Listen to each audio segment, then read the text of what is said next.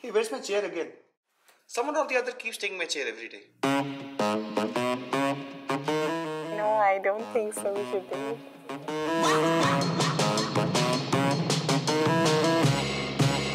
Do I look at the camera or?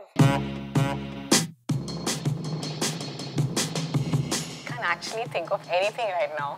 There's nothing that I don't like like as much, but the ladies' bathroom is not marked out clearly. These sales guys are so loud, man. Starting with the fact that we don't have a smoking zone. I absolutely love the food. These sales guys get biryani for dinner, okay? And we get bhindi for lunch. That's not fair, dude. भिंडी कौन खाता है Sometimes I'm afraid I'll overeat and become fat. पता नहीं लोग lights भी on नहीं करते फर्स्ट फ्लोर में तो कितना मजा आया so much light But I only wish people take discussions to meeting rooms or cabins. I think it's the space. It's a bit congested. And you have to go find a cabin to work, but sometimes even they are occupied. If we sit in cabins, how will we hustle? How will we collaborate? How will we disrupt? How will we become a unicorn? Can we please get to monitor the AC temperature? Sometimes there are some cold spots in the offices where it might become a little bit uncomfortable to work. These people complain too much. If you're feeling cold, wear a jacket, no? Yeah, sometimes I find myself in a lot of meetings. Sometimes our meetings are very long, yeah. Like it's insanely long. And there are meetings back to back, and you just need to isolate yourself and finish up your task. I don't like the fact that people call me Mohanlal. Hey Mohanlal,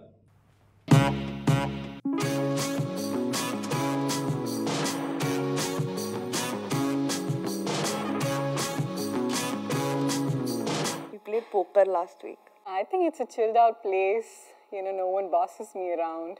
And there's no dress code. I mean, check this out. I can wear my harem pants. And uh, you end up enjoying a lot while working. Nobody sort of puts me down and there's a lot of creative freedom, so that's really nice.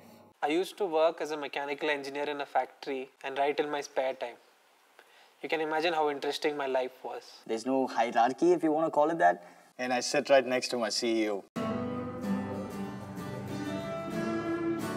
No politics over here. Everything is pretty much straightforward. I think I have complete freedom and ownership of whatever I do with just the right amount of guidance. People at Hiver are intense. They're caring, they're fun to be around, and they know their shit. I've seen the company grow from 30 people to all the way 80 people, and that's a big growth. So you get to work on front-end technologies, sometimes in back-end technologies, and sometimes you even end up handling servers. So which basically helps in the all-round development. It feels great that there are these company trips to Goa. I joined after the company trip, but I'm sure it would have been fun.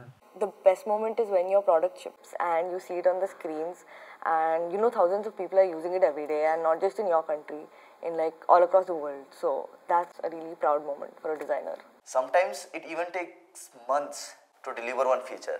But when it gets finally shipped, it is just awesome. I think I've really worked hard for certain roles from the hiring standpoint of view. And when these people actually join our company and do such a fantastic work, I just feel absolutely great.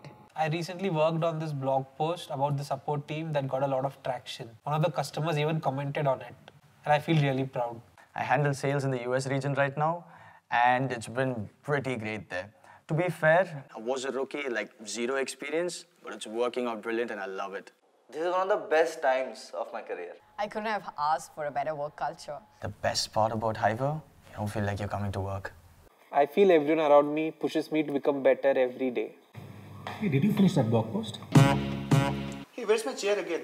Someone or the other keeps taking my chair every day. Do you have any idea where my chair is? The least you can do is not take the CEO's chair.